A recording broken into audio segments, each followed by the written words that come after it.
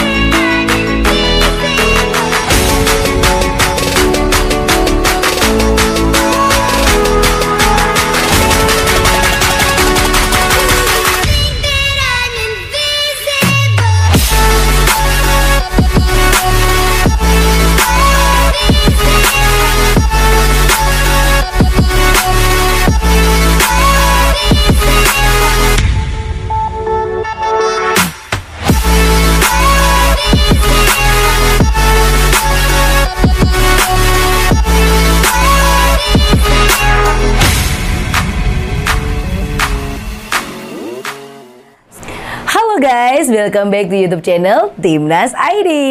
Nah, kalian pasti penasaran kan, ada kabar terbaru apa dari Timnas Indonesia?